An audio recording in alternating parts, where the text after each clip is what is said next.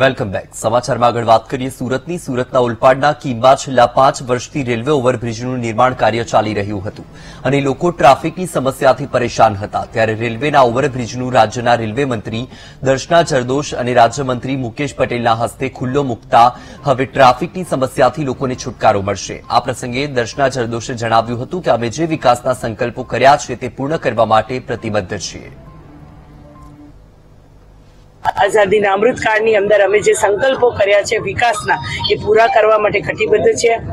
ખૂબ ઓછા સ્પાન સાથેનો, જેને કહી શકાય કે લેટેસ્ટ ટેકનિક સાથેનો સાત કરોડના ખર્ચે બનેલો બ્રિજનો એક સાઈડનો વિભાગ આજે શરૂ કરવામાં આવ્યો.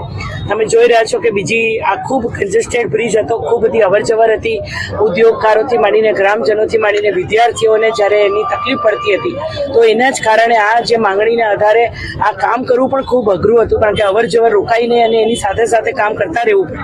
છતાં આજે આ ખૂબ આનંદનો દિવસ છે કે લોકોમાં પણ ખૂબ ઉત્સાહ છે અને ખૂબ સરસ રીતે આ કામને વધાવી લીધું છે.